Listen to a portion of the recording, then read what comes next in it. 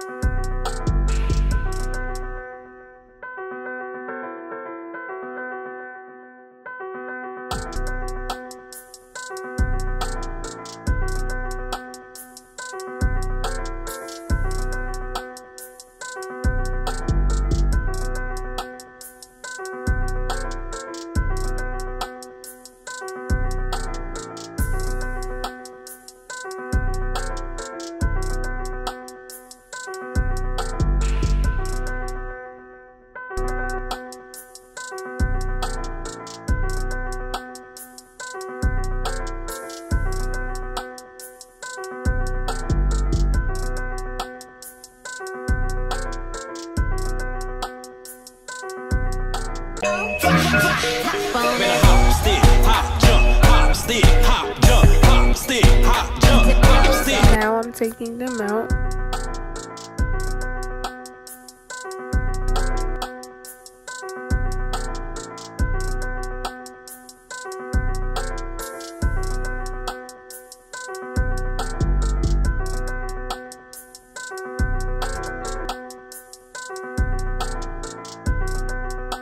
watching.